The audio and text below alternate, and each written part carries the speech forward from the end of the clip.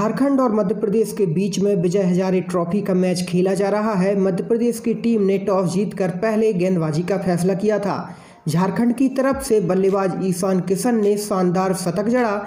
ईशान किशन ने सिर्फ़ चौहत्तर गेंदों में 102 रनों की ताबड़तोड़ पारी खेली है।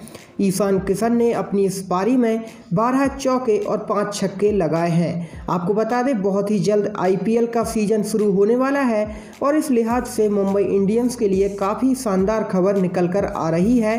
ईशान किशन शानदार फॉर्म में नज़र आए। और उन्होंने गेंदबाजों की जमकर धुनाई की। आपको बता दें, इस समय विजय हजारे ट्रॉफी का आयोजन किया जा रहा है। इस साल रणजी ट्रॉफी नहीं हो रही है। झारखंड की टीम ने इस समय एक सौ बावन रन बना लिए हैं, जबकि उसके सिर्फ़ दो विकेट गिरे हैं। अब देखने वाली बात ये होगी कि ईशान किशन अपनी पारी को कितना लंबा खींच पाते हैं।